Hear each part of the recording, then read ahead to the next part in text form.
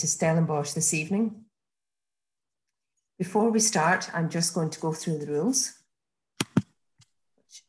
I just want to make sure that everyone enjoys the evening and gets the best out of the tasting. So if you just bear with me, I will remind you of what we're going to do and how we're going to do it. So here we go. To ensure that everyone can hear our hosts, all participants will be muted during the presentation. If you have any questions for the speakers, please use the chat function and we absolutely would encourage you to send us questions because it makes the evening more fun. The chat function is the bottom middle of your screen and we'll answer as many questions as possible. There'll also be a Q&A at the end, so if we don't get to your question, we'll do our very best to get, it, to get to your question at the end of the tasting. To get the best view of myself, Roelof and Victor, choose speaker view on the top right hand corner of your screen. We will be recording the tasting, but the, only the hosts are being recorded. So if you want to have your video on, by all means leave it on because you won't be recorded. Please remember to eat and drink plenty of water throughout the tasting, the best experience. And there's some food matches in the book, which we'll talk about later, but also have some nibbles and crackers on the side. We will send you a link tomorrow afternoon for those who want to view the tasting again or who couldn't make it this evening. And the final thing to mention is that we'll have a break after the second wine um, to allow you to top up on nibbles and water. So as I say, good evening again. Um, we're delighted to be joined by Victor Sperling, one of the owners of the family-owned Delheim in Stellenbosch in South Africa, and Roelof, who is the winemaker for Delheim. But um, before we start, we're going to um, have a bit of a movie, which is going to give us a really good overview of the estate. So I think the first thing to do is start with the Pinotage Rosé, and this is the 2021 vintage. This was obviously harvested in the spring of this year, and it's now in Ireland. So if everyone wants to pour themselves a glass of the Pinotage and sit back and relax and enjoy a couple of minutes of the movie from Delheim. Roelof's in charge of the, um, the movie.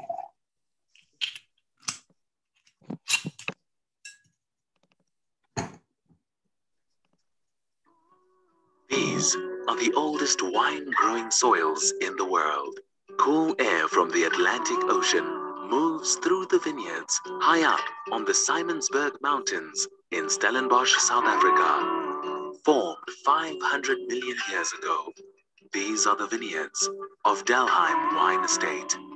For four generations, the family has served as custodians of these soils, crafting exceptional wines in harmony with nature and with respect for the people who live and work on the farm.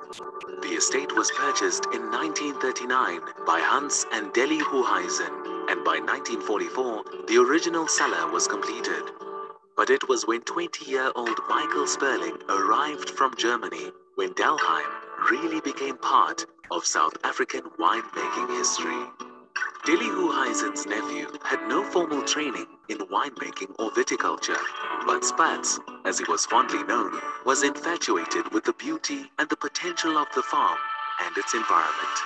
Following his passion, Delheim became a pioneer in the South African wine tourism industry, acting as a founding member of the Stellenbosch Wine Routes in 1971, the first wine routes in the country.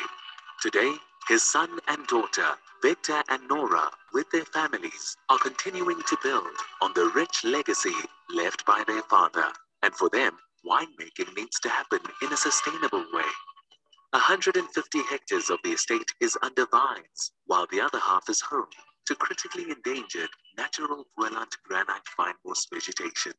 It is also one of the World Wildlife Fund's biodiversity champions, a select group of 50 South African wine farms who actively conserve their biodiversity in tandem with wine farming. Leopards, caracal, and many other animals roam freely on the farm and are protected through the Conservation Management Plan. Furthermore, Delheim is driven by a respect for the people who work on the farm, and social development takes top priority. Endorsed by the Wine Industry Ethical Trade Accreditation These efforts include a creche, youth education, learnerships, internships, and skills development. Each glass of Delheim's internationally awarded wines reflects this passion and diligence. Here, wine is made in the vineyards with viticulture practices supporting this fundamental belief. All activities, from pruning to harvesting, are done by hand, ensuring that only the highest quality grapes get delivered to the cellar.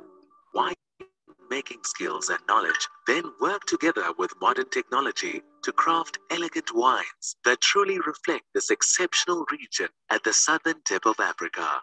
Each bottle of Delheim wine reflects this story, this heritage, and this commitment to future generations.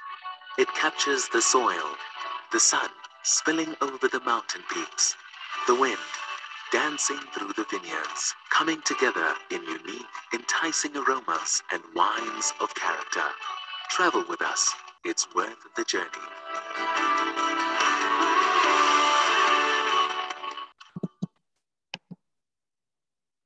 Thank you very much, Roelof. That's the first time that we've had a video of the estate in one of our tastings. And it really helps to give a sense of place and what a special place it is. I mean, I know, Victor, that you've been very instrumental in the development. I know you were very involved in the viticulture of the estate, but you've also been very involved in the change to giving land over to the biodiversity of the animals and the ecosystem, if you like, within the estate. Would you mind giving us a, you know a bit of background on that?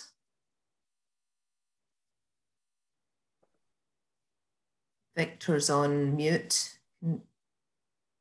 Aaron? Thank you. Okay, Sorry, Victor. Apologies. I can't do that myself. no. We're control freaks. Sorry about that. Yeah. yeah, I think that the love for the biodiversity and um, nature has pretty much come from my father when he came from Europe, and uh, a lot of the land that we have at Delheim is not easily um, cultivated for vineyard. So, being in Germany, he said that all the land had to be cultivated, and he started to plant pine trees on it. But um, he also soon realized that uh, because we're lying up against the Simonsberg Mountain, so everything above us, our estate is natural fynbos, and um, yeah, that we also needed to preserve some of this. So we were one of the founder members of the BWI, which is the Biodiversity in Wine Initiative, where we started to say that we should give back a certain percentage of our land that we have to nature. Um, and that included um, putting corridors between our vineyards where insects and animals can roam freely between the vineyards because a vineyard is quite a sterile environment for any natural predators or insects. And um, if you put corridors in, you have space for these insects and animals to live in the natural environment, and they help with um, getting rid of the pests that we would otherwise have to spray. And um, being up in the mountain and having so much fynbos around us, we can actually see it compared to our other farm, which is below, um, further below the, uh, closer to Kanonkop. Um, where we have very little fynbos, now we have a lot more, but we used to have much less, that we have a lot more insect problems. So the nat giving back to nature and making space for the, the natural um, habitation of predators and other animals actually helps yeah, in the biodiversity of the vineyard. Okay. And a monoculture is, from a vineyard point of view, is historically how vineyards have been planned and planted. So how hard was it to then bring in other indigenous or re, re um, introduce indigenous plants and you know bushes and trees and so on? Did you have to remove some vineyards to do that? Yeah, so in the old days we used to have windbreaks between vineyards, which took okay. up a, a, lot of space. Uh, when we cut the trees down, we let them lie flat and then they start rotting. And with the rotting, uh, you start getting all kinds of insects to come in to eat the wood, to make nests inside the wood and take up habitation inside these spaces because you're not driving there with tractors or spraying anything there, that Mm. they've got a space where they can live all year round without being disturbed. Um, and if you put these spaces in between vineyards um, blocks, then um, the vineyard, the, the insects and animals can travel between blocks and natural environments without having to travel through a monoculture like a vineyard. Mm. Mm. And it's it's it's organic is probably the way that everybody would like to go, but organic is not always the way that it's sustainable um, to to everybody. And um, at the moment, uh, growing organically 100% and trying to do it at a, at a price that is um, that works for the consumer is is very very difficult. Mm. So we said rather let's look and and start to wo- work work towards that, and do it in a more sustainable sustainable way. Okay, interesting. We might come back to that point afterwards. As you say, it's it's the way that a lot of people would like to work, but it's not always possible for weather reasons, or as you say, the difficulty of trying to um, still offer good value. So, um, Well, roll it's- off. it's, uh, So then just uh, So- it's interesting that South Africa is the only, only wine country in the world that has a sustainable winemaking um, business um, ethic like the BWI, which actually comes and monitors your status, gives you points, and you actually become a champion. Um, we are only, I think there's at the moment only 20 wine farms in South Africa who's got championship status, which we are one of. For Um, so biodiversity. yeah, so it's something very unique that we do, and Australia and New Zealand are starting to copy us. Okay, interesting. So there's only 20 South African wineries who are currently accredited as biodiversity champions. And you were one of the first, weren't you? ourselves and um, Rustenburg and Ver, uh, Vergelegen were the first three. Okay, okay, interesting. It's amazing. We could talk about this all night, but let's talk about the wine because I'm sure people want to hear about the, the Delheim Rosé. So this is a Pinotage Rosé. And Roelof, obviously you're the winemaker at Delheim. So we'd love to hear your interpretation or your philosophy of the type of rosé that you're trying to make from Pinotage, which incidentally was one of the first and most well-known and highly respected rosé wines in South Africa. When was this wine first made? The first vintage of this wine? Uh, Good question. I think Victor could tell you, give you that answer. Victor, when was your first rosé wine made? 74. 1974. So we're really in Ireland, we're just getting into rosé now, but you've been making rosé since 1974. So um, we'd love to hear what your um, winemaking philosophy is, Roelof, and um, even just a bit about this, the 2021 vintage would be interesting. Yeah. Um, good evening, everyone. Um, yeah. Look, to be honest, I think that my whole philosophy is kind of to put everything you saw in that video into the bottle.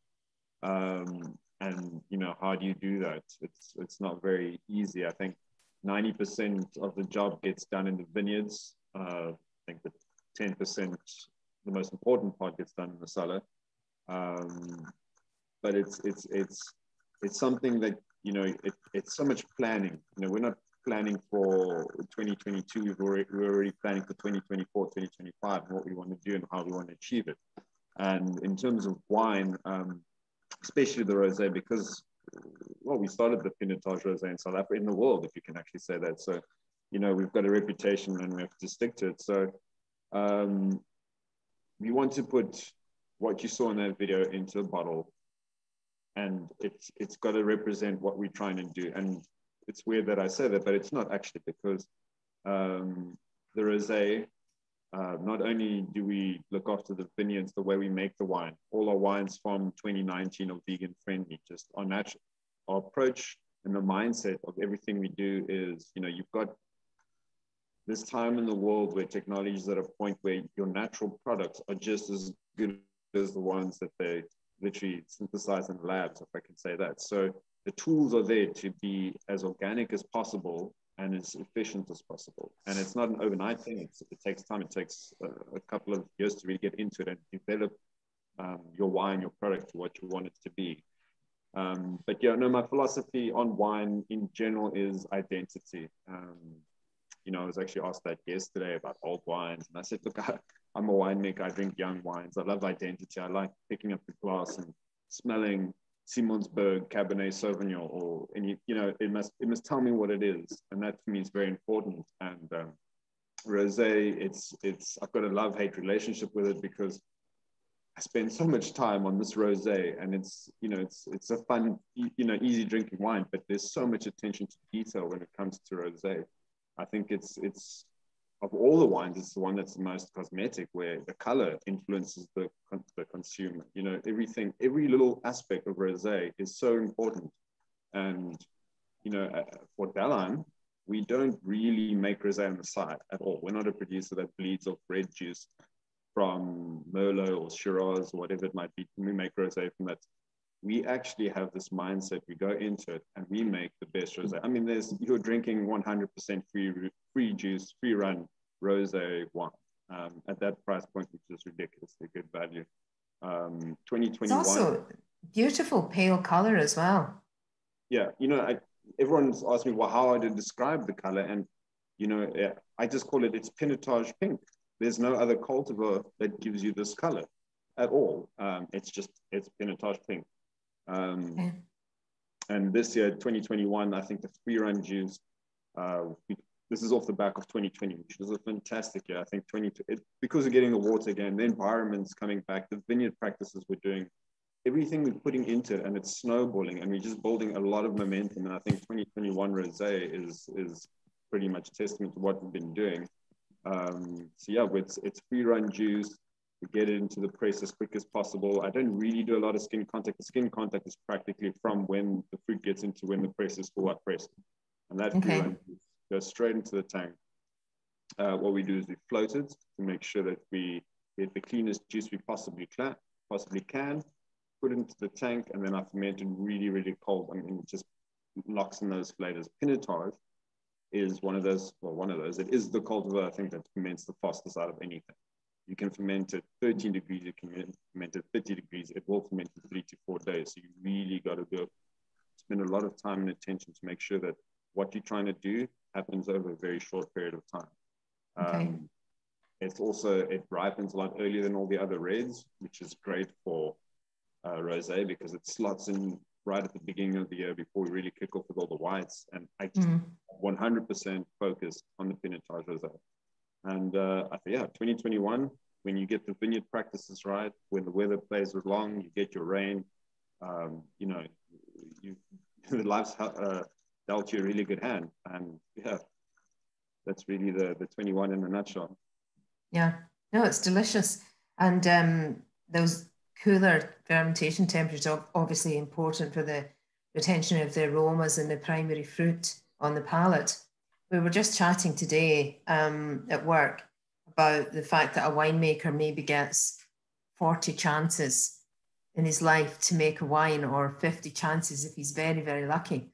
And it's incredible to think if you think that you get the opportunity to make the wine once a year and you'll get a chance to do your job 40 or 50 times um, compared to most jobs, which you're basically doing it day in and day out. And, you know, it's your, your chance to get it right is once a year. So I think you've definitely got it right. The 21 is absolutely delicious, I think. Um, and I'd like to hear from anyone who has tried the food matches that we suggested because the food matches have come from um, Victor and Roelof. So I don't know if anyone tried their own food matches with rosé or they went with some of the food matches that we suggested in the tasting booklet, but we'd love to hear from you if you, um, and I can see some of you are quite rightly sitting outside eating your dinner along to the tasting, which is great. But um, any any thoughts on the food matches for the rosé would it would be good to um, it would be good to know. So um, thank you thank you for that Roelof. Um, we've got a comment there saying stunning.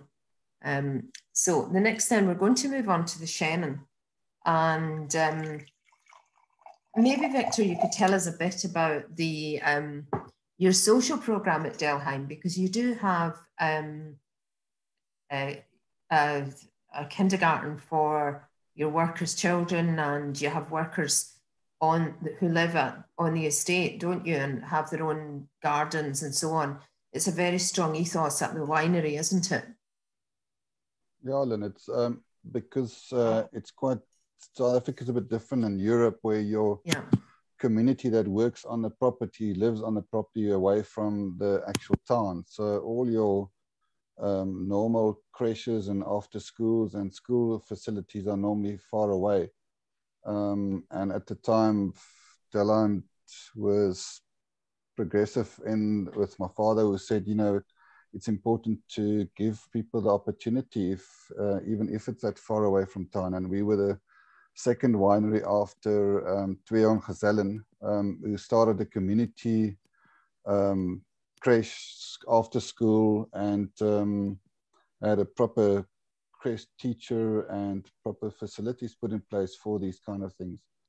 And I think if I look back now, 30 years and more, um, then it's amazing how much uh, it has helped us to deal with problems which other properties have got now, other farms have got now. Uh-huh. Because um, if you help people to have a happy environment, a happy space um, to work in, and they know their children are being looked after, and while they're at work, and the children have a future because they've they can actually go to proper schools afterwards with good upbringing, and it, it makes the whole environment better. We're a Mm. family winery, and, uh, and we consider everybody who lives on the property and comes to work here as part of the family. Um, and uh, if you keep the family happy, then hopefully everybody's happy. And it was very forward thinking and um, I suppose against the trend at the time. Um, and it's a very, um, you know, it's impressive that it is such a strong ethos of Delheim um, that it's, uh, it's in place for your workers and their families. And, and, Yeah. and is it the, is, is there's kind of generational thing that family one, you know, a dad works for you and then the son might work for you and so on is you tend to find that your family stay with you through generations. It's funny that um, as soon as you uplift people that way, the families become smaller. Okay. Um, they become, they want to be more than just a tractor driver. They want to be a tractor driver and more. So the skills level become better. So they do more things. So most of the people who live on the property now are not your normal um, laborer that you would use. They're all very skilled workers because that is Okay. how we how we educated them and how we brought them after and lifted them. So funny enough, today you will have um, your normal pruning work will not be done by your people that are your permanent force because these are your skilled workers and they've the mentality and the way they look at the brand and the way they live the brand is very different to what it used to be. Okay. Interesting. Um, Interesting. yeah. Which is So- it's positive and it's positive because it's it up, up, uplifts the the work ethos on the on on, on our estate. Okay. Okay. Interesting. So the second, I mean, the second wine this evening then is the Chenin Blanc. And sorry, I have to apologize. Apparently, there's been some technical issues with the Zoom link. Um, I hope that everyone who was supposed to join has been able to join now. We'll also be sending the recording out tomorrow. But apologies for people who may have missed the beginning of the tasting because the Zoom link was not connecting. So sorry about that. Okay, so then the Chenin Blanc then is the next wine, which is the Wild Ferment Chenin. And this is uh, the 2019, and it's the second wine on the tasting this evening. And um, you can see with a couple of awards for this wine. Um, and Roelof, interestingly enough, is the winemaker at Delheim now, but prior to Delheim, he worked at Breeder, which is actually also one of our um, one of our other South African wineries.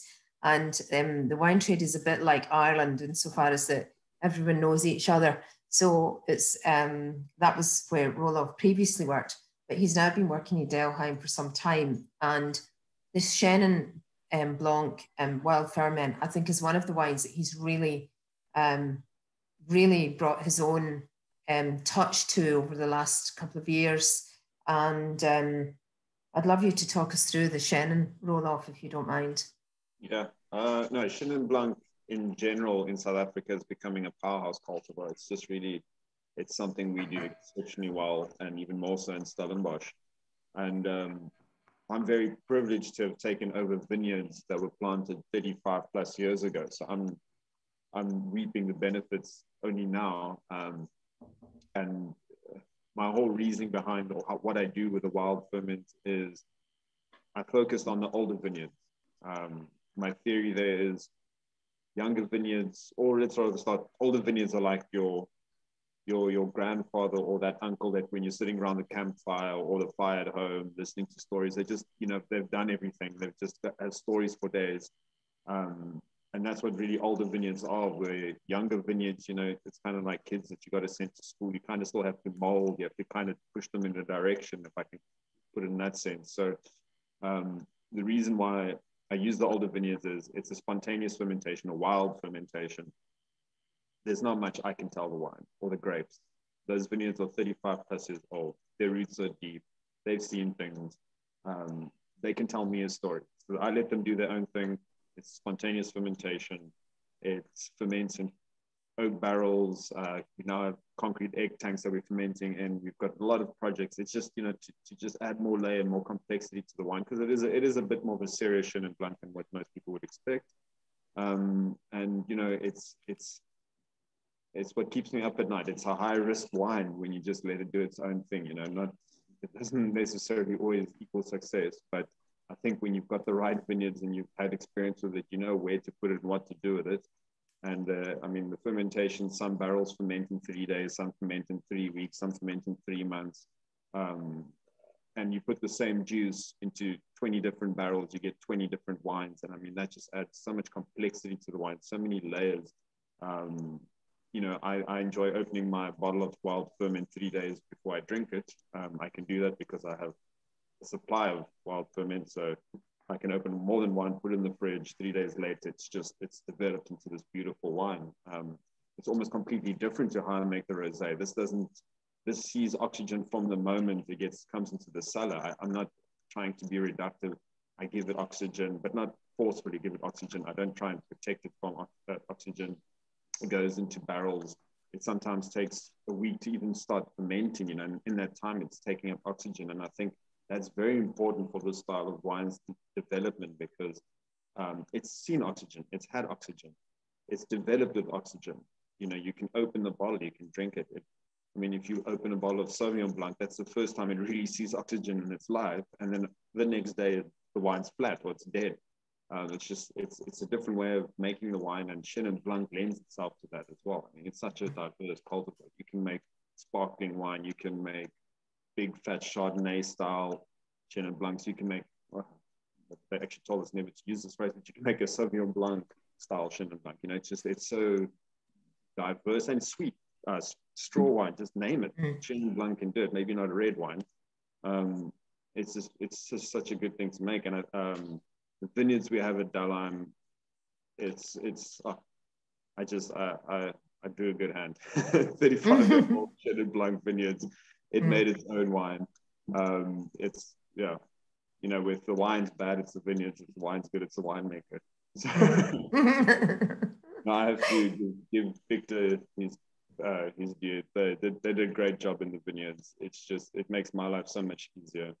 Hmm. Um, mm. When we taste through all the barrels, when we taste the concrete eggs, when we taste just fermented in concrete tanks, it's every single wine is like, oh, we could probably put this in the bottle on its own. But when you start doing the blending and you see the layers it adds and how the wine fleshens out and how it comes alive, it's uh, it's just a fun wine to make. It really is. It's quite it's quite textural as well, isn't it? Roelof on the palate. You've got a bit of um, weight there on the palate in terms of texture, haven't you? Yeah, and that's I mean, the grape. But do you think that's the wild yeast fermentation as well? Yeah, I think that's a lot to do with it because it spends a lot of time on the lees. Um, uh-huh. And you know, it, I always describe it as an oiliness, and in a weird way, it also has a sweetness section, but the wine's bone dry. You know, it's yeah. That's how the layering comes. That's how um, a stainless steel fermented Chenin, where it's just clean and crisp and clear, versus a wild ferment where you've just got you know every sip you take is a different experience. You have a sip, eat it with food. I mean, it's a food wine, really. It's you, uh-huh. can just, you can just it just lends to so many different things, and it'll change. Drinking okay. the wine out of the fridge versus having it at uh, room temperature, it's two different wines. You know. Yeah. And I, I, it's interesting what you say. It's almost like a sweetness is a sort of, even though the wine is dry, um, there's a kind of textural honeyed character to the wine, which makes it, I think, a really good wine to match with food. Um, and I think it's quite interesting because we're seeing um, a bit of a move away from very lean, dry styles um, towards more textural white wines. And I think it's because people have been cooking at home more over the lockdowns and they're looking for wines that are going to match the dishes that they're making at home. So, in a sense, they're maybe looking for more restaurant style wines to drink in the house to match their dishes. And I think this is a perfect example of a wine that's just, as you say, it's delicious in its own, but it's absolutely amazing with food because it's got so much to offer in terms of the texture, the complexity, the layers of aromas and flavors. And I think that, um, you know, I think that would work um, very well, you know, with food. Now, you must tell us what um, lobster burger is because you told us to match this with lobster burger, but I don't know what a lobster burger is. I wanted to say crayfish burger, but I'm not sure you get crayfish in. in we could get our hands on lobster easier, certainly. Yeah, so I went that direction. I'm assuming they're the same. We just eat crayfish in this country. I think Victor, uh, he's promised to take me diving every year. Uh, still waiting. Uh, and he's not done it yet, no? He must still, he must first learn to dive, Roelof. no, I'm joking. I'm scared of the ocean. I won't go that. oh, really? no, it's, it's uh, your your um, diving season. It's it's practically open two to three times a year, um, and it's. I know we're crazy about crayfish in this country, and just to have um, crayfish tail, let's call it lobster tail, on a burger with really nice mayonnaise. It sounds nice. It is. Sounds... I'm glad I ate before this because I'd be dying right now. Could we have some chips as well with it? Of course. I know Paul a few weeks ago um, did lobster chips and mayonnaise, and I just thought that sounded like a match made in heaven. So, um, add, add a bit of balsamic vinegar to the mayonnaise. You see what that does ooh, to the lobster. Interesting. That sounds interesting. Mm. And the other thing that you suggested to go with the with Chenin was uh, sushi, which also sounds delicious. Yeah, funny enough, um, we we're sushi crazy in this country. Uh-huh. Um, every other restaurant is a sushi restaurant. So, um, yeah, nine times out of ten, if I had to go eat sushi, or we do a lot of uh, cork if you take bottles of wine in Stellenbosch to the restaurant. I think it's like an unwritten rule in in the wine region. You need yeah, yeah. So, I mean, I always take Wild Ferment when you do mm. sushi. Fair play. That's a good one to take, I'd say. so, um, Jeff um, is recommending it with Dublin Bay prawn. So similar, I suppose, to what you're saying, Roelof. It's good with that kind of, you know, that luxury prawn, lobster. Um, I think that's a, an interesting one. And in a way, I suppose there's a bit of sweetness in the prawn and there's a bit of sweetness in lobster. And you're talking about a slightly honeyed character in the Chenin. So I think those would be very complementary.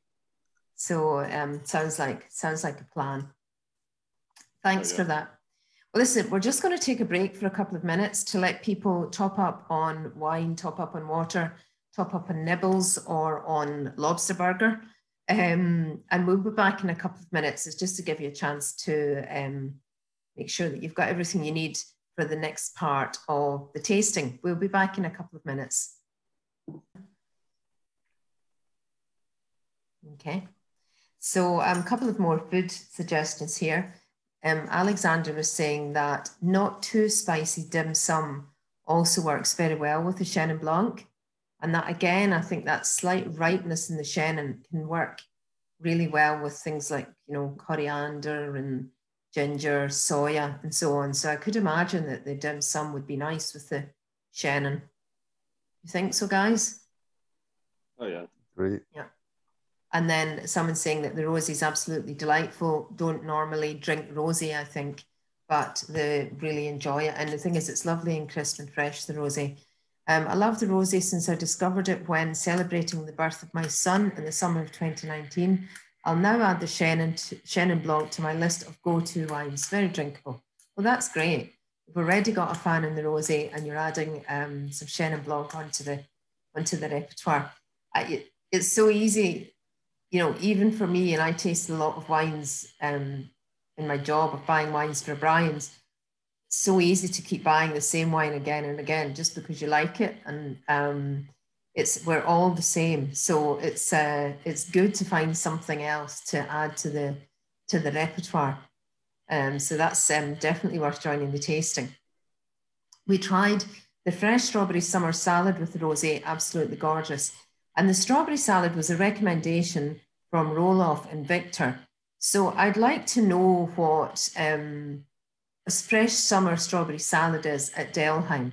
What are the ingredients for that at Delheim? Well, Victor, it's your it's your mother's kitchen. The ingredients for strawberry salad. Sure. Yeah. Um, I know that might sound a weird one, but I'm curious to know what it would be with you guys. Um, definitely the sour cream and as many different types of salad you can add and then some okay. nut, nuts and some nuts. All right. So it's basically leaves, strawberries, sour cream, and nuts, and as many bits of garden salad that you can add into that. Yeah. Yeah.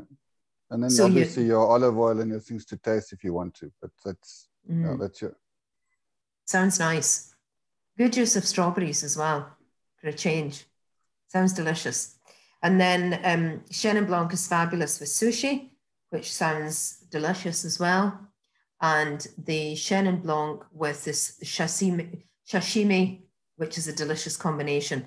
So, gosh, we've got some really adventurous food matches tonight, which is nice. Um, and then someone is saying, Nick is saying, um, 24, 24 years ago, we came across the Delheim vineyard whilst honeymooning in South Africa and had a fantastic morning with the team. The vineyard was very homely and the team were very welcoming. That's lovely. That's nice that you've got you. someone joining well, tonight we'll that's actually someone that's actually visited you in South Africa, which is great. And um, Sheila was saying that herself and her husband also visited Delheim on their honeymoon 13 years ago, and it was fabulous. Gosh, you guys are the destination for honeymooners then. So we've had a thank few you. of those. We've had people getting engaged here as well. Oh, really? In the vineyard. well, thank thank you for joining the tasting, guys. And I'm glad that um, it's nice that you can join a tasting where you've actually been to the property and experienced it firsthand. So then I think we'll move on then to our wine number three, which is the Chardonnay. So um, this is the Chardonnay Sur Lie. And again, a bit like we said that the rosé was um, one of the earliest rosés that was made in South Africa, going back to 1974 in Stellenbosch. Then this Chardonnay, the Sur Lie, is almost like a cult wine style at this stage. So, Victor, when was this Sur Lie Chardonnay? When was this first made? Oh, we made the first one with um, Conrad Vlok. That was the wine. No, with sorry, with um, Brenna Van was the winemaker. Okay. And at the time, we wanted to experiment with Chardonnay, but make try not to become anything but Chardonnay. Um, okay. Uh, saying that you don't want all that that, that over oakiness, the where people start chewing the oak or getting the splinters in their mouth, and to be experimented with fresh, uh, with um, French oak and um, yeah, and because uh, Chardonnay seems to really give an amazing concentration of fruit um, up here on the Delheim slopes. Um, we've we made uh, one of the see I can not even. Love, do you remember which vintage won the international wine spirit competition? Fourteen. Was it fourteen? So we won the best Chardonnay in the world award with the with the one vintage, and okay. um, I think that just gave us the the confidence to say that what we do with the grapes and the vineyards and the terroir up here works. Um, it's not just for the winemaker to be able to keep, um, yeah, to put that into the bottle. And it was, it was more that uh, do not make the mistake that we've done before with Chardonnay. Let's try and make, and that's why we said let's go into a Sur Lie style. Okay, okay. And um, Roelof, why don't you explain to us then the Sur Lie style? Because it's a very specific style of winemaking, isn't it? Yeah, um, and I think it's it's also it, it helps more about the identity from where it's from. Um, like I pointed out in the beginning, identity is very important to me. Um, and that overlaps with my wood philosophy and my wood regime. Um, I heard this phrase once. I still can't remember who said it until I find out. I'm going to pretend as if I made it up. Um, want wood to be the bass player of a band. When it's playing, you don't hear it, but when it's not playing, you miss it. Um, okay.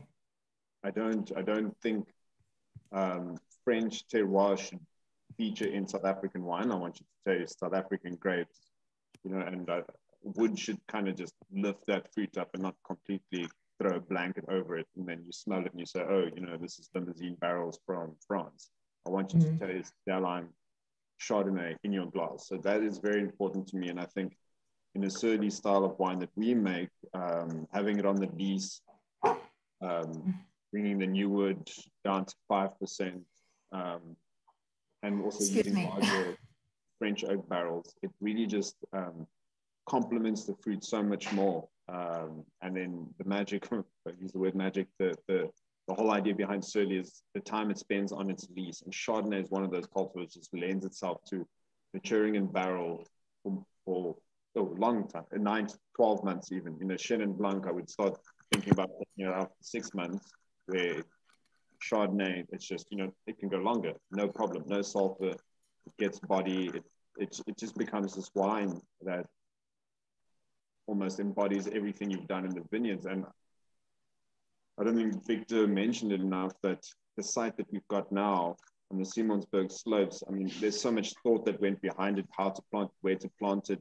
They did heat maps. They know exactly this site is this sort of temperature, you know, the slope, the road direction, everything goes into those sorts of things so that when I get the fruit into the cellar, all I really have to do is crush it, put it into a barrel, let it do its own thing. Um, and it, it's also, it boils down to just, you know, knowing what you want to do going forward and having the right, um, let's say, parent material to work with. So it's, it's just, uh, it's a, it's a fun and easy wine to make because is just that good.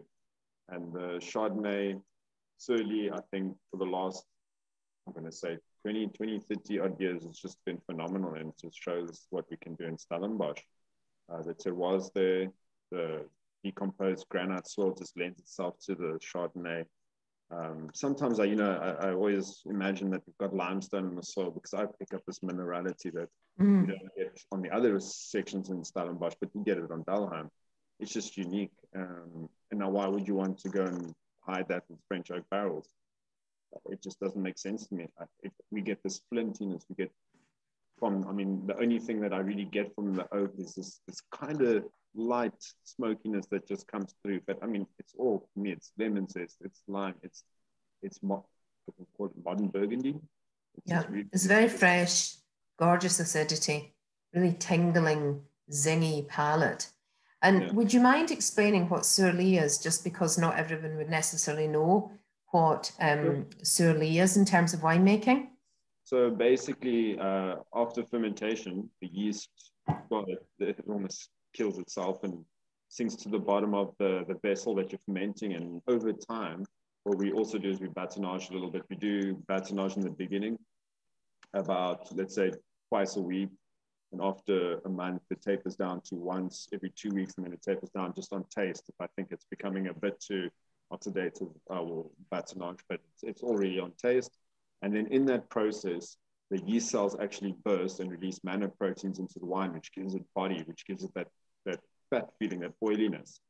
Uh, so Sur Lie is pretty much its time spent on the lees, the, the bed of lees. I think that's okay. the direct translation. So time time spent on the, or it's the wine in contact with the spent yeast lees, and batonnage is the stirring of those lees through the wine. It's just mixing it, mixing up the mm. lees so that it gets back into the wine. And I mean, the wine, if you look at your glass now, the wine, the yeast and everything settles down and it's clear, almost as clear as what it is in the bottle. And then when you mix it up, it almost becomes murky that you can't even see through the wine. And that's just the mm-hmm. yeast going back up. And then over time, it settles out again.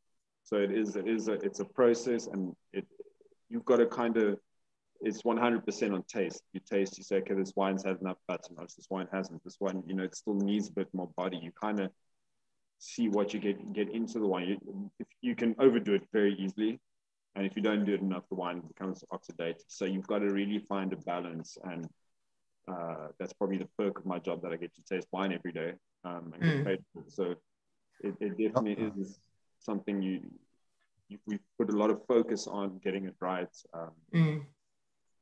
And yeah, I mean, what I'm trying to put into the bottle, it's it's we're getting there. I think we still got so much potential at Delheim. It's unreal. The vineyard team, mm. we're just so focused at the moment. Um, like I said, we're, we're thinking 2023, 2024, and how we're developing things already. So it's it's it's it's a fun time to be yeah. in the South African wine industry. And how old did you say the Chardonnay vineyards are? Well, this block is now, I think it's seven or seven years. Okay. Years. Yeah, seven, eight It's years remarkable then, isn't it? Because those are still quite young vines. Yeah. But you've you know, still got that intensity and concentration there in the wine. Yeah, I mean, look, it's it's as old as we, we've been making wine in South Africa for more than 360 odd years. Mm. Um, but with apartheid and, and, and, and we've been isolated from the world's technology, the world's advancement, the world, you know, we were so stuck in this little bubble. And now with, we've got the University of Stellenbosch, we've got all these ideas, we get foreign interns, we go outside to go see what they're doing. That information is just coming to us. And we've now literally because we can plant whatever we want, wherever we want, we've got the opportunity. And this is a, a site where, you know, they've done the research, they've seen the heat maps, they've seen the slope, they've seen, okay, this piece of land, it is perfect for Chardonnay. Mm-hmm. I don't know. And then if you mm-hmm. can do that, you can achieve quality and success in a relatively shorter time than what it would be to plant a vineyard X here and mm. over 30, 40 years, you're now developing the fruit that you would have. Because you've done the soil analysis and so on. Exactly, yeah. Okay, interesting. So Kira was saying that she's not a Chardonnay fan, but this wine has bowled her over. And I think, you know, we do hear that quite a lot. I think that Chardonnay, it's like a chameleon grape variety. Chardonnay can be crisp, fresh, high acid, quite aromatic, very light and very fresh. Or it can be at the other end of the scale, which is textural, creamy, concentrated, and powerful. So there's all styles of Chardonnay out there. So for people who think that they don't like Chardonnay, you just need to keep trying Chardonnay because there's one out there for you. Because the one of the reasons why it's such a widely planted grape variety around the world is because it grows easily but also it's a grape that does what you tell it once it gets into the cellar. So the winemaker has a big influence on how a Chardonnay ends up in the bottle. And this is at the richer, more concentrated, fuller end of the Chardonnay scale. But I think it's absolutely fantastic and actually represents fantastic value for money because you are, um, you know, absolute premium Chardonnay with oak and with power and concentration. And um, Kira was also saying she had it with the smoked brisket, which was actually again um, our, was actually a food match that came. The smoked um, brisket was a food match that came from the winery, um, because we're trying very much to go with what the winery are suggesting. Um, and smoked salmon was also recommended for this wine. So if anyone had um, this was smoked salmon, I think it would have also been nice because you've got the acidity to cut through the oil and the salmon, and then you've got the richness of the flavor to match with the salmon. So I think that sounds like um, a nice match. Batonnage we mentioned earlier, it's the stirring of the spent yeast lees in the wine, and that actually gives um, more intensity of flavor, bit textural, and the yeast actually protects the wine from oxidation as well. So it has various purposes, but it would be a very common practice in say um, Burgundy, where they're making um, also making top end Chardonnays. Batonnage would be a technique that's often used with Chardonnay. Um, so, um, Victor, you mentioned, or Roelof mentioned apartheid there, but you were saying just at the start of the call, situation in um, South Africa at the moment is quite difficult because you're in your fourth lockdown and alcohol sales have been completely banned in South Africa at the moment, haven't they? Yes. So politically, so we, we, are allowed to export, so your uh-huh. orders are going, but um, locally we cannot sell yeah, off on consumption or off consumption. And restaurants are open, but um, yeah, you cannot have any alcohol there. Okay. So no, so nobody's going to go to a restaurant if you can't have alcohol in any case. No. Yeah. Oh yeah, uh, the thing in the and, and earlier on this year in the I don't know which lockdown it was. I think it might have been your first lockdown. Um, actually, the government stopped exports of wine as well. So we were very, very, very light on stock of wine from South Africa, and you would be our main winery. So um, we basically almost run out of South African wine at a certain point this year, just because of the the export ban, if you like, which must have been and must have been. How long did the export ban last for in the lockdown? Well, the first lockdown, uh, I think it was about three weeks, perhaps, and then they realized that if they don't open it up, it's going to make an absolute disaster for the wine industry. Okay. We export we export about 50% of our wine. Okay. Um, well, that will mean 50% of our income will just come. Uh, so then it'll be 100% of our income come to a total standstill. Okay. Um, that's doing no business for three months. Um, that would just have killed most wineries. Yeah. No, so absolutely. The, small, the smaller wineries who were not exporting, who had no export base, um, they were only dependent on the local market. They were really having a hard time, and a lot of um, under counter um, activities activities started to happen. Yeah.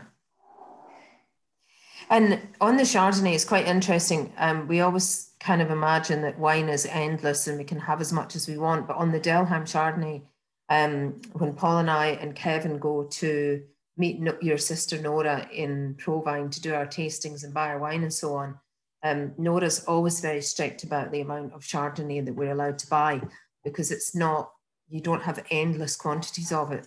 And I know that there's a big following for it in Ireland. So um, we're delighted to um, have it here. And you were telling us tonight yeah. to order loads of rosé because the Germans are ordering it up like mad. So you're saying we need to book some stock on the rosé. Oh yeah. Yeah, I think it's it's um, rosé especially has grown for us a lot, but Chardonnay and the Chenin Blanc Wild Ferment is sort of but a surprise kids for us because um, the world is uh, um, invited, embrace Chardonnay again, but they want that kind of Chardonnay style. Mm. Um, we've seen the same with Chenin Blanc. Chenin Blanc was just so difficult because everybody just wanted to have Sauvignon Blanc, Sauvignon Blanc, Sauvignon Blanc. Mm. Um, and then people started to get a bit tired of the acidity of Sauvignon Blanc and um, and it, I don't. It, it's for us in our area. It's very difficult to do a Sauvignon Blanc because of viticultural reasons, not winemaking reasons so much. But Chardonnay and Chenin Blanc do really well in Ireland, and and I think that's what we need to focus. We need to focus mm. on what we can do well in our wine growing area in our terroir, and not try and copy other people because terroir you can't copy. The Chinese can't mm. take the terroir from South Africa and go make our wines in China so that's the advantage we have as wine producing countries that we mm. are, have unique terroirs. Mm. And um, yeah, so those varieties, those two white varieties work very well for us. Are you too hot in Stellenbosch to grow Sauvignon Blanc? We are too hot, so we get mm. a lot of um, eutypa in our um, vines, which means it's uh, wood starts rotting. so it's a kind of um, trunk disease. Yes, and so after about eight to ten years, you have to cut back your vineyard completely and start all over. Okay. So it's pretty, it's pretty much like building your paying your your bond off your house, um, which you, it's going to take twenty years, and on the tenth year, you decide to break down half your house and rebuild it. You know, it's it's it's a never ending story, and um, mm. it just becomes too expensive. Mm. Okay. Thank you for that. So on that um, sad note, we're going to move on to Pinotage then. We'll focus again on the wines. So the first, well, the, the red wine that we're having this evening is the Pinotage um, 2017. And is this 100% Pinotage Roelof? Yeah. Okay. So should we talk through the Pinotage then? Yeah, sure. Um, see it very well. Well, uh, unique to South Africa, uh, a lot has changed in let's say the last 40 years of, of the making of Pinotage.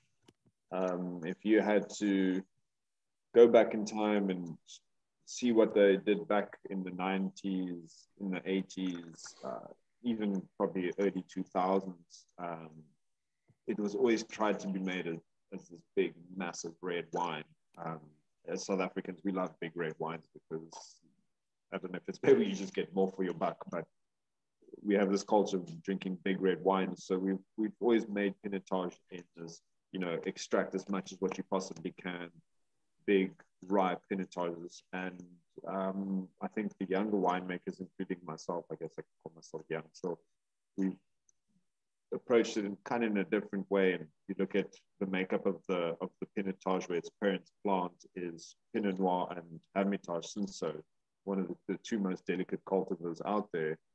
Uh, create a pinotage. You, you wonder why are we treating this like a Cabernet almost, where we're just trying to smash it and extract, extract, extract. So with what's in the, available in the wineries nowadays, technology and how we can analyze and, you know, we extract the finer things. We, we're really trying to make a pinotage express itself a lot more elegantly at the moment. Um, it has a lot of a lot to offer. I think our neighbors, Abrie Beeslaar from Kanonkop, I think he described it best. A, a good pinotage has the aromatics of a Pinot Noir in the body of a Cabernet. It's just, and that's what it can do, and that's really what it can do. And, you know, if you if you taste, you know, where, where when you find where things should be in the terroir sense, uh, where you know Cabernet belongs to Bordeaux and Syrah and in South Africa in Stellenbosch, we're still experimenting. But if you start looking at the overall makeup of where the best pinotages come from, you'll see in Stellenbosch, it always ends up from the Simonsberg. I mean, that's where we are, and it's, it, it always ends up to have the same characteristics where we have bush vines, southwest facing slopes, uh, and uh, it, you know, if that works with Pinotage, and that's what we've been doing, and I think that's really the su success story of our Pinotage, purely because mm. it happens to be at the right place. Um, and then we've got such an array of vineyards. We've got bush vine vineyards, we've got trellis vineyards, we've got really old vineyards, we've got really young vineyards. So, you know, I've got such a, a broad spectrum of pinotages to play with when making this wine. So um, I mentioned earlier, it is a very, very fast fermenting cultivar. So we get it in. We never, we do harvest all by hand. Uh, we never really stress to pick until five in the afternoon. We really just pick till say just after lunch, maybe sometimes. So we never really get the fruit in hot. always nice and cool. Uh, we get it straight into the fermentation vessels for this pinotage. Like I said, it's a lot of different vineyards, and we've also got different fermentation vessels. In this other side, do upright fermentation, stainless steel. I do open top fermentations with punch downs. Um, I've even got uh, horizontal tanks that rotate. So I try to do a bit of everything just to get different layers again, like almost like the Chenin Blanc, where I just, you know, I want to have as many building blocks at the beginning when I'm making up this blend. Yes, it's an individual culture, but it is one pinotage, you know, made up of lots of different little pinotages. So pinotage ferments really quick. So for any other red wine where you've got two weeks of fermentation extraction, you've got to kind of shrink that into the three, four days that it ferments. So it's a lot more hands-on more time gets spent over a short period of time to really get this, this wine right, get the right color, get the right body, get the right texture.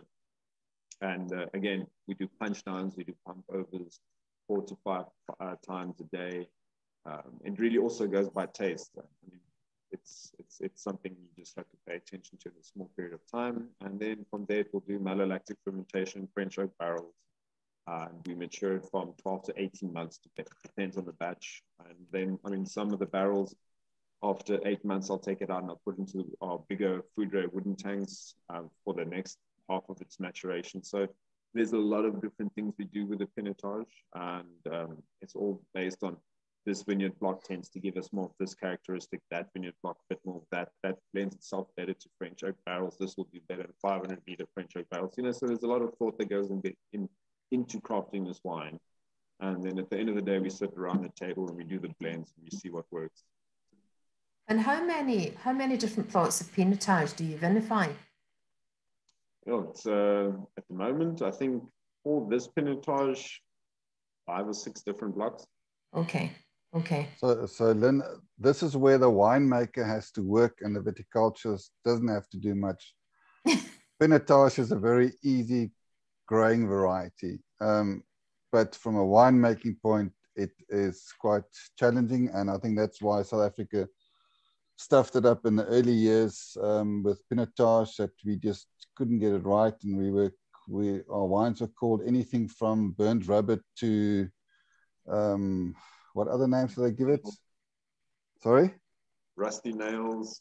Rusty nails stuff. And, and um, I think that's where we've we've worked hard to get the Pinotage fruit to show, but it is it's a winemaking. It's a I say because we have the leaf roll virus in South Africa, which is when you drive through the vineyards here in um, after the harvest, you get the leaves turning red, and that is not because it's becoming autumn. That's because there's a vir virus in the actual leaves, causing the chlorophyll to go to to to stop producing, and allowing the telling the basically shutting the factory down of the of the vineyard, not allowing the grapes to produce more sugar. So Pinotage, because it's an early ripening variety, we always can ripen it properly in the vineyard. It's, it, it hasn't got a problem. Whereas with Cabernet, when you have leaf roll virus and Cabernet, it's a late ripening variety. It's a very big challenge to ripen it properly if you got too much leaf roll in your vineyard. Um, Kanonkop always laughs and says they don't they don't have a problem with leaf roll virus because Pinotage is just such an early variety, it always ripens. And does leaf roll stop photosynthesis? Photosynthesis? Photosynthesis. Yes. It does, right? So, so, so the vine's that... nutrition is being affected with leaf roll virus. Okay. Exactly. Okay. Yeah, the later ripening cultivars really struggle, like Cabernet with with uh, leaf roll really struggles to reach its sugar potential, its uh, alcohol potential towards the back end of ripening. Um, because it's at the end of the the, the, the season of the year, sort of thing almost all the all the leaves are pretty much shut down. Where Pinotage, for example, because it's an early ripening cultivar, it's still in a different phase. Okay. Okay. So, and you're in autumn there now, aren't you?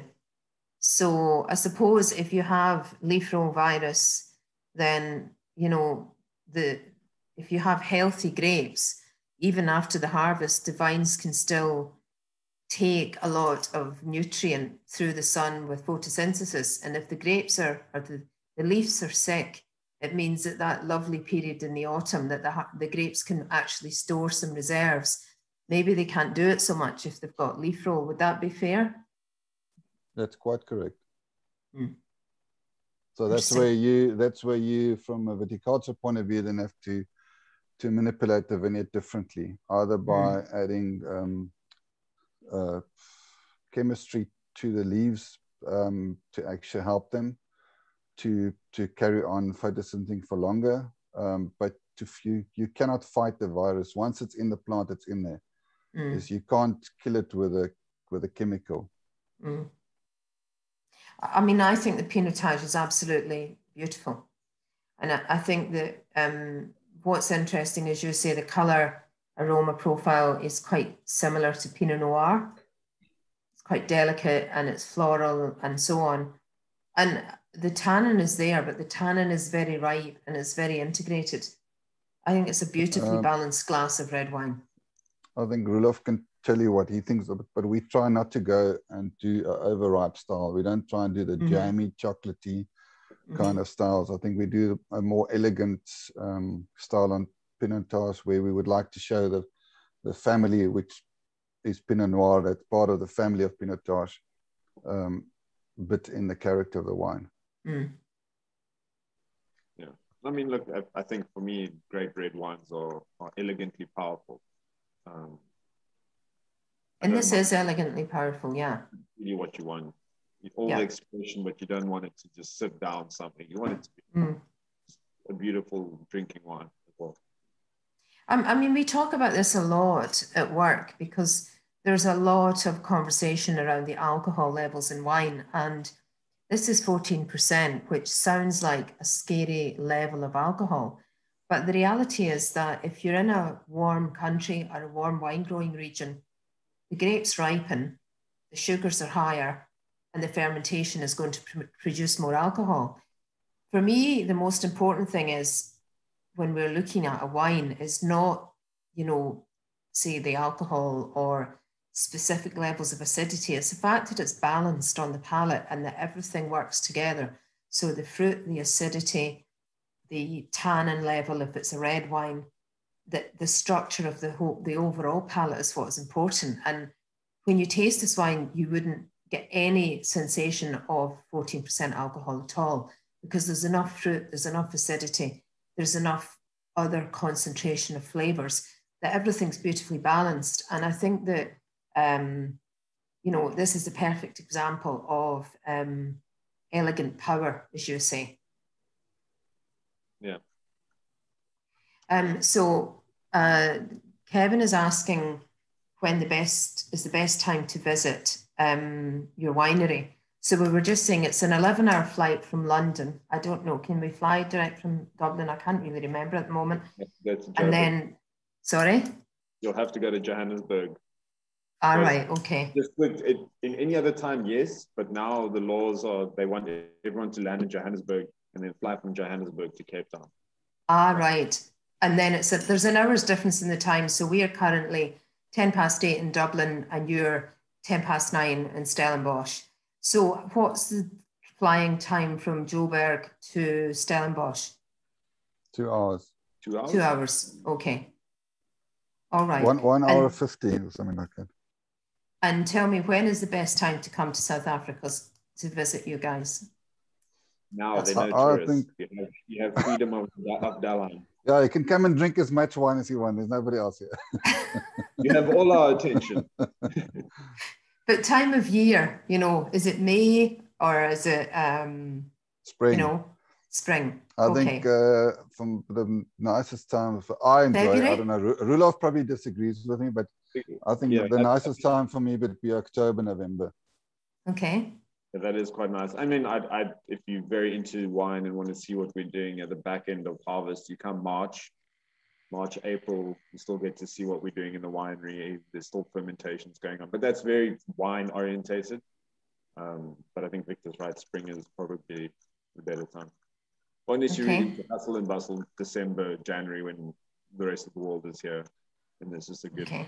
Atmosphere. If you, if you if you can choose a time, I would say October, November, because then the South Africans are not on holiday. Okay. Um, and it's uh, December is, is it too crazy? It's a crazy season. January is also crazy, and then February is extremely hot.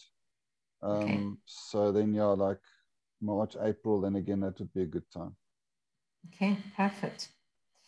Okay, so someone's saying that the um, Pinotage has a Pinot Noir nose, and that, um, as John O'Toole said, he had it with the, some beef stew earlier. Um, so that sounds good. And then the duck is on the barbecue, which, which was the recommendation from you guys, that it was duck breast with the Pinotage, which you can imagine would be absolutely delicious. Um, so they're going to be enjoying their duck in about an hour's time with the Pinotage. Um, and then Sheila's saying it's a beautiful drive on the garden route from Stellenbosch to Johannesburg. So um, everyone seems to be getting in the mood to come out and visit you guys. We can't go anywhere at the moment, so we're, we, have got to we've got to dream at the moment of what we're going to do. That in fact the um, the COVID um, passports have started to arrive with people this week, um, so we're going to be able to start traveling at some point soon, hopefully. Drink um, enough South African wine now and you come and visit next time. Okay. Yeah, we can drink and dream at the moment and use your food matches. So um, Olga was saying that we visited your fabulous vineyard in November and a few years ago, and it was absolutely fabulous and enjoyed tasting the wines again tonight. The duck recommendation has worked very well, Jeff was saying. Um, we have to be in, it will have to be in November 22 2022 from Kevin because we won't be allowed to travel this year. I think that's possibly a fair enough observation. Um, okay, Owen is asking Lions or Springboks. What's your call? I'm handing over here. This isn't well, about wine. This is about I'll, rugby. Our B team thrashed well in thrash. We we beat the, the Lions quite comfortably last night. So I can only imagine our full strength side will will demolish them. I think the Irish should just come here because they'll give us a thrashing probably. The Irish will be better than the Lions, definitely. Much better than the Lions. okay. Um, how long before drinking the Pinotage would you re recommend uncorking the bottle? Yeah, I think you know I don't I don't think it needs to be decanted. Um, okay. At the moment, it's drinking beautifully. Mm um, I mean, yeah, uh, an hour or two just to okay it let it breathe. Yeah, let it breathe. I don't. It's a wine. I think it's just at the moment just drinking really, really well. Uh, what's it now? It's 24 years later, three years later, it's it's definitely just drinking it. it it'll probably last another three to five years, and then we'll start developing okay. all the characteristics. But yeah, drink it now. Open the bottle. Okay. Open it and drink it. Open more it. and more wines are being made for drinking, really, as opposed to keeping or um, to enjoy and access the fruit at the moment. Okay, don't, so don't want to die from COVID and then you can't drink it. That's a bit cheerful, Victor. I was I was nearly dead from COVID, so I did, I was I had to, yeah missed out. My old my old wines were lying there. oh really? Did you? When did you have COVID, Victor? I had the fourth of January. I was in the hospital for ten days, and I oh really? Two people, two guys died next to me, so I was getting very worried about my my oh, situation. Oh, oh gosh, I didn't know that. So, so there's always there's always a good reason to drink a wine. Okay. Um, yeah, I didn't know you you had been in hospital with COVID, so sorry to hear that. And you're very you look the Absolutely. picture of health now, so you're. I, you're I never lost my smell or my taste. Good, and you're still drinking wine, so. Yeah. Okay, so if someone said, if I can resist the Chenin, what's the best way to store it for three days? um, as per Roelof's recommendation. In the fridge, Roelof? The fridge. I literally just take the cork out, pour a little glass, obviously. I can't resist it either. Put the cork back, just leave it in the fridge. Three okay. days later. We even we, we actually implement that in our tasting room to try keep open one or two or three bottles so that on the second or third day that's in the cycle when you pour it and it's just it works. It's a wine that just opens up beautifully. Okay. Um, uh, all our wines at the moment in South Africa, you recommend uh, should come out of, should come out of your fridge um, to have a wine standing at room temperature is just stupid because by the time you've opened the glass, poured it, it's it's back to room. And, and the wine styles, uh, the, the, the way we make red wines these days, as well as you want to you want to actually smell the fruit, enjoy the fruit. And if the wine is too hot, the alcohol is going to come out first and not the fruit. Mm. Yeah, that's true. It becomes soupy, doesn't it? Sort of that you, you lose the fruit purity if the wine is too hot. And we talk about room temperature wines, but that was in years and years ago when we didn't have central heating. But now room yeah. temperature is much warmer than it ever was in the past.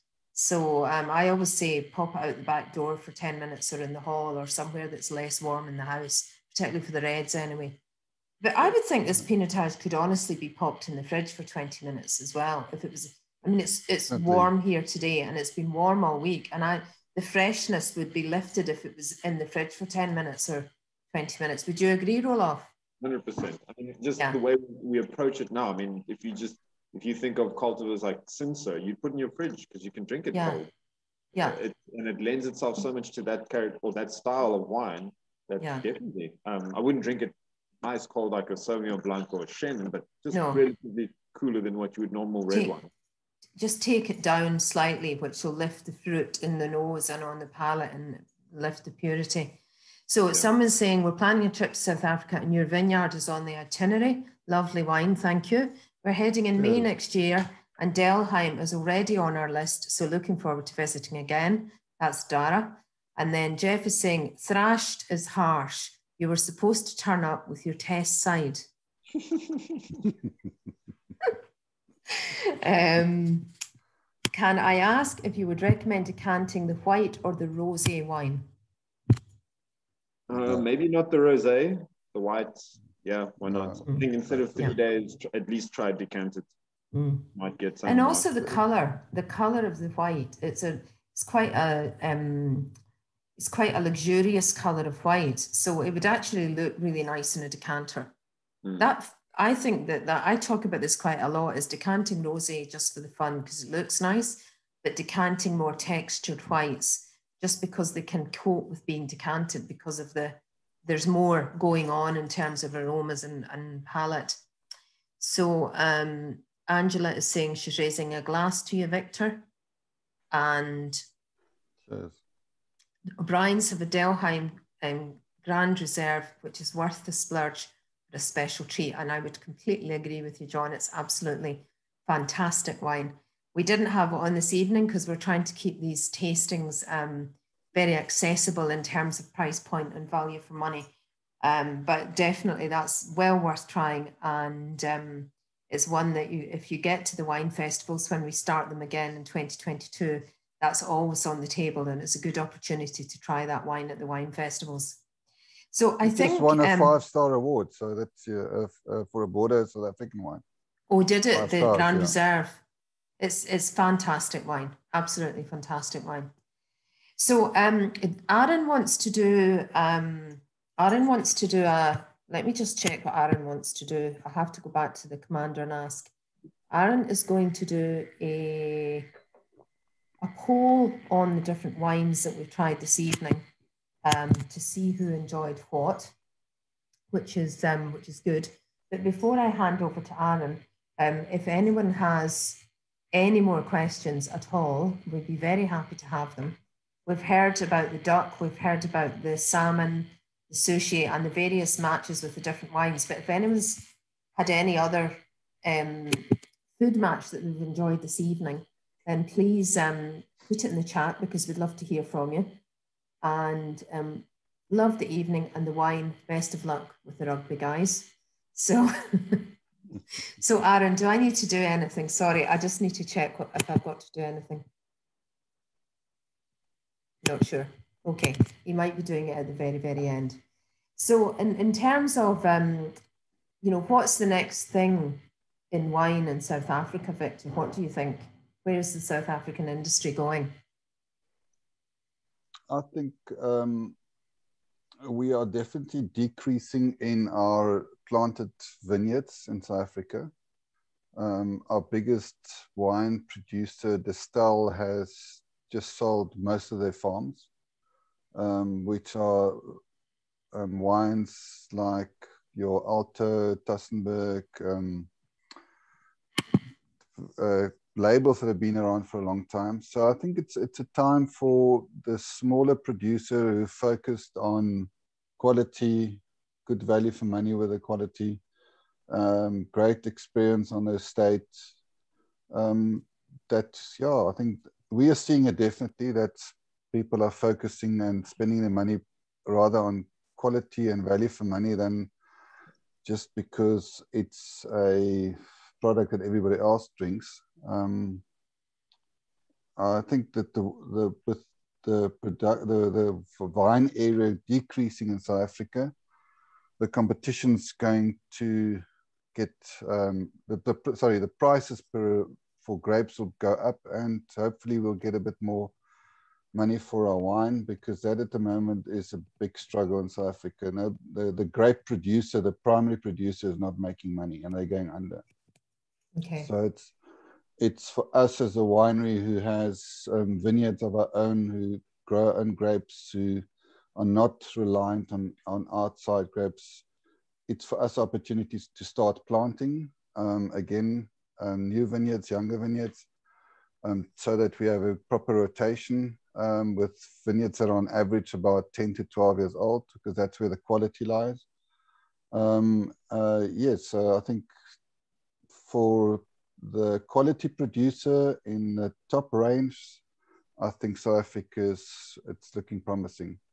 If you are only growing grapes for bulk wine, um, I think that's that's not going to be easy going forward. So basically, if you're in charge of your own vineyards, you're you've got your own destiny in your own hands. But if you're buying grapes to make wine or whatever, it's a harder a harder job, really. Yeah. And you're in charge of the quality in the vineyard, and you're in challenge, challenge you're you're in charge of sort of end to end piece from vineyard through to final bottle. So you've got everything under your own. Man, Roelof came to, to Delheim with half the salary that he got at the other place because he said our grapes not terrible, so good that he just has to be here. So, I mean, It's close to the truth. so, so I think that's I think that that's for a winemaker important. I mean, a winemaker at the end of the day, he, he can he can't make a great wine from shit grapes, but he, he can make a bad wine from good grapes. Um, so at the end of the day, it, the challenge lies in the vineyard. And Roelof said it earlier on that if if if we own the terroir and we can manage our fruit, it's just up to us to to get it to mm. the consumer. Um, yeah. And, the, yeah, in, in, and another thing, um, just to add with you know, there's a surplus of wine in the world, and a lot of vineyards are being pulled out. It's not just a South African thing. Um, it's just give put us in a scenario where focus is so terribly important in what you do. Uh, you don't now have the luxury of just planting willy nilly Merlot here because you can. And you got to now mm. know what you're doing, why you're doing it, and be focused. And I think the, the biggest problem with South African wine is the fact that the quality is going up, but the price point's just staying behind. Mm. We're really struggling to get out of the bang for your buck category. Mm. Um, mm. Will we ever? I don't know. But uh, the focus, you're now competing with so many more people that are just upping their game because you can't mm. just make what average wine yeah. anymore. Uh, there's just too much in the world. So yeah. quality is the focus, I think, for every single winery in Stellenbosch. Uh, I can't think of some, even those co-ops are now starting to realize bulk game is is very dangerous. It's about quality at the moment. Mm. Um, I know you're very you're the viticulturalist, and um, that's kind of in your remit, um, Victor. So, um, shit grapes. That's a technical term, is it?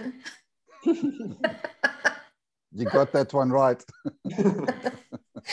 okay, so there's a question here from Nick asking, um, not necessarily just the wine this evening, but what are your favourite varietals tonight? So, which of each of the guys' favourite Delheim wine? Not just the four wines from tonight. So, what's your favourite wine, Victor, of your range? I've got three kids, and I love them equally, but I, I don't always like them equally. So that's probably the same thing I need to say about my wines. Eh? Okay. You mean that's it's so. I think. Yes, I mean it's it's a time of the year as well that you're drinking, uh-huh. that you enjoy drinking certain styles. But um, you should love every wine because if you don't love it, you should never bottle, put it in a bottle. Yeah. Okay. And Rolo, your favorite wine? Do you have a favorite child? I love. Um, I spent a lot of time in France making wine there. I've just always I've this love for Bordeaux, uh, Bordeaux reds. Um, so Grand Reserve naturally is one of the reasons why I came to Delheim. Mm. Okay, fair enough. He's, he's lying because he's a, he's a he's a very good noble late harvest botrytis um, winemaker, and he's from his previous winery he made the donkeys by as well, mm. and mm. um, I think he's got a secret love affair there as well. well it's Bordeaux, sometimes Um, no, we make really nice noble. In fact, if I have a few minutes, a few seconds, I'll quickly say we've got. I, I, if you had to tell me, ask me today, would I ever plant Riesling in Stellenbosch? I'd tell you out of your mind. But we have this one block of Riesling. It's called the office block. It's right next to the office, and it's freezing cold in Delheim always. Um, uh-huh. Because this pocket in the Simonsberg where the sun really only hits us from 11 o'clock in the afternoon, winter even later. Um, there's fog in the morning. It, it sounds miserable, but it's actually not that bad. But it's just mm. really cold, and it's the ideal condition for botrytis to thrive. And that block of Riesling, it's it's a magnet for botrytis. We just get unbelievable noble late. So we do make Interesting. a late. It's really really good. So vineyard, it's location, location, location, isn't it? And then winemaker and then winemaking, absolutely. so, so, but you're the one Roelof that's been telling us all night is you're not doing anything. They just the grapes are so good. the boss is here. anyway, um, a food suggestion with the Chenin Blanc, Brie de Meaux cheese, olives, and grapes sounds delicious. Other suggestion here is the pork medallions with cream cider sauce is going very nicely with the Chardonnay sur lie, which sounds gorgeous. Angela's saying she was Chardonnayed out, but was surprised how much she enjoyed the Chardonnay and the Pinotage hit the spot. And that's actually coming from over from the UK because we had some guests tonight joined us from the UK. They went out into the UK and found some Delheim wines in the UK. And one of their relatives here in Ireland arranged for them to get the link. So we've actually got someone on the call from the UK tonight, which I'd forgotten about. So you're very welcome. It's difficult to vote when the wines all taste different did everyone see the vote, Aaron? Sorry, can I just check if people can see the results of the vote? I'll be honest, um, I think that um, you could do the same thing tomorrow night and you would get completely different results. I think wine is always about the occasion, it's about the weather, it's about the food, it's about the company. So tonight, anyway, the Wild Ferment has won out at with 33%, and the Chardonnay Sur Lie 26, and the Pinotage 23. And interestingly enough, the Rosé 18 tonight, which I was surprised because quite often the roses are the most popular. But we've had some amazing food matches tonight, and I think that you know, the, in a way, the, the wines, the, the Chardonnay, the Chenin, and the Pinotage have probably gone really well with different dishes. Um, give Roelof a pale eyes. That John has sent that to you, Victor. I'm directing that to you. Yeah. okay, I'll remember that. beautiful wines, great information on the video, and from Victor and Roelof. Lovely evening. Cheers to Victor. And then, do you make any sweet wine? You do. Ed's yeah, which we actually stock in O'Brien's. Yeah, got a got a five star as well three times now for okay. South African Noble Late.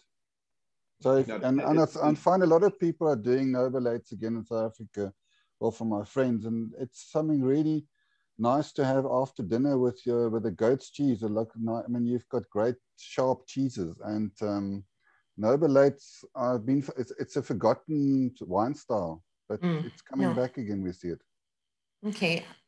Um, Alexanderson, his wife loves the pink. Thank you for a wonderful evening. Amazing wines. Roelof worked in France. Withdraw the pay rise. UK Gordon. Um, so some Gubbeen cheese, which is an Irish cheese with the pinotage, is beautiful. Surprised at the result. Would have expected to fit the rosé to finish higher, which I, I agree. Thanks for the wonderful evening. Fabulous wines. Keep going, doing what you're doing. Thank you, Victor and Roelof. And that's from Sheila. So listen, we're two minutes over time. Thank you very, very much, guys, for joining us. It's been an absolute pleasure speaking to you guys this evening in Stellenbosch, and we're here in Dublin and around Ireland. Um, we're very grateful to you for joining us. I think the, the wines showed beautifully this evening. And thank you very much, everyone, for joining us. We'll be sending the video out tomorrow, so the link will be there. And um, I hope that you enjoyed the tasting. Our next tasting is with Viña Leyda from Chile, which is going to be on the 26th of August, and those tickets are going on sale. I think it's next week or the week after, but anyway, watch this space for the next tasting. But really, what a treat to be talking to Victor and Roelof tonight from Stellenbosch in South Africa. It's been absolutely wonderful. And thank you very much for joining us, guys, from South Africa. And thank you, everybody in Ireland and the UK for um, joining the tasting this evening. Thanks very much, guys. Thanks, guys. And just one last thing, open invite to everyone. You'll, you can get hold of us through Lynne, or you'll find your way to Delheim. Just mention you went in this tasting, we'll take you around the vineyards and treat you. Thank, so. th thank you for that, because we would definitely, um, we would definitely drop a note to you guys and give you contact details of anyone that wanted to come and visit you. We do that quite a bit. So, and you guys are always wonderful. You're always so welcoming, and um, we definitely will pass on anyone that wants to wants to come. Um, we'll give we'll give Roelof a pay rise. Okay, then you all know. I think he does deserve it. To be honest, the wines are amazing. uh. okay, thanks, guys. Thanks, guys. Super. Night, night.